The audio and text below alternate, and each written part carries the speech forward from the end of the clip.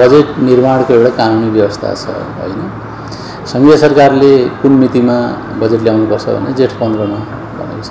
अनि त्यसपछि स्थानीय सरकारहरूले प्रदेशले असार एक गते स्थानीय सरकारहरूले असारको दस गतेसम्ममा आफ्नो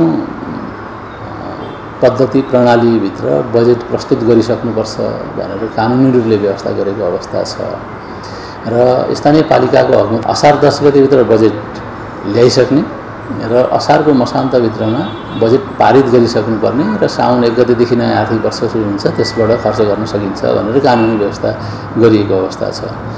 भनेपछि यो सबै विषय स्थानीय सरकारहरूले जान्नुपर्ने स्थानीय तहले जान्नुपर्ने विषय हो। कानुनले उल्लेख गरेको मितिमा बजेट ल्याउनु पर्ने र कानुनले उल्लेख गरेको मितिमा बजेट पारित गर्नुपर्ने। र पारित गरिसकेपछि मात्रै खर्च गर्न पाइन्छ। भन्ने कानुनी व्यवस्था छँदैछ भनेपछि पारित नगरिकन खर्च गरियो भने त त्यो त बेरुजु हुन्छ होइन?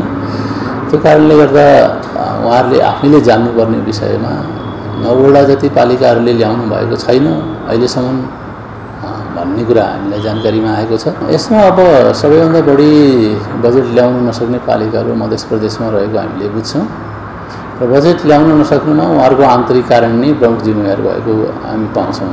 कतिपय अवस्थामा प्रमुख र उपप्रमुख अथवा वडाका अध्यक्ष र सदस्यहरू प्रमुख उपप्रमुखसँगको बेमेलका कारणले विमतिका कारणले पनि अब त्यहाँ छलफल हुने वातावरण नभएर नआएको अवस्था देखिन्छ।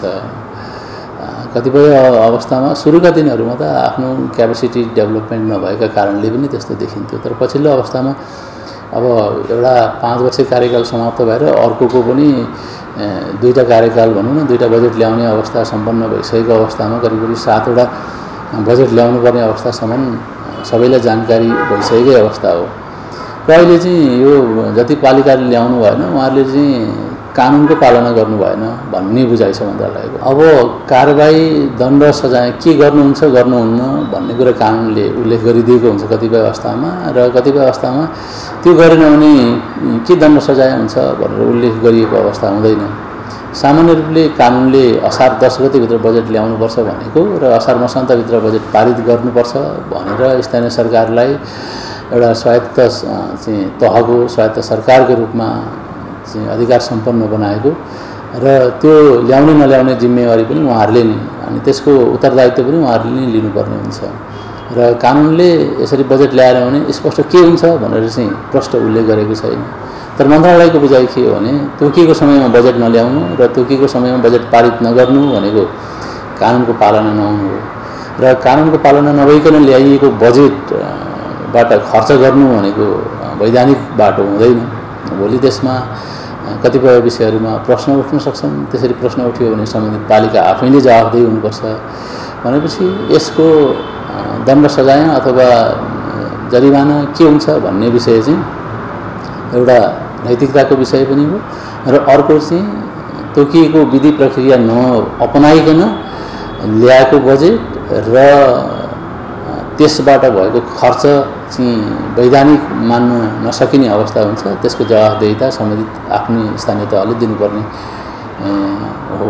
त्यस्तो स्पष्ट वार्षिक बजेटकै विषयवस्तुहरूमा अनुदान दिने नदिने भन्ने विषयमा स्पष्टता छैन। तर कतिपय अवस्थामा हामीले पालिकाहरूको मूल्याङ्कन गर्ने गर्छौँ। उहाँहरूले मूल्याङ्कन पनि अरूले मूल्याङ्कन होइन उहाँले स्वमूल्याङ्कन आफ्नो मूल्याङ्कन आफै गर्नुपर्छ भनेर विभिन्न इन्डिकेटरहरू हामीले डेभलप गरिदिएका छौँ। त्यो इन्डिकेटरमा उहाँहरू उत्तीर्ण हुनुपर्छ उत्कृष्ट हुनुपर्छ फेल हुनु हुँदैन भन्ने व्यवस्था उल्लेख गरिएको छ। यदि अब त्यस्तो उत्कृष्टता प्रस्तुत गर्न नसकेको अवस्थामा कतिपय विकास साझेदारहरूसँग साझेदारी गरेर गरिने कार्यक्रमहरूमा मन्त्रालयले गर्ने कार्यक्रमहरूमा उहाँहरू एलिजिबल नहुन सक्नुहुन्छ। त्यसरी एलिजिबल नहुनु भनेको उहाँहरूले पाउनुपर्ने जति आर्थिक सहयोग सहयोग भौतिक सहयोग अथवा सफ्टवेयरको हिसाबमा प्राप्त हुने सहयोगहरू क्यापेसिटी डेभलपमेन्टका कुराहरू ती विषयहरूबाट उहाँहरूले वञ्चित हुनुपर्ने अवस्था हुन्छ।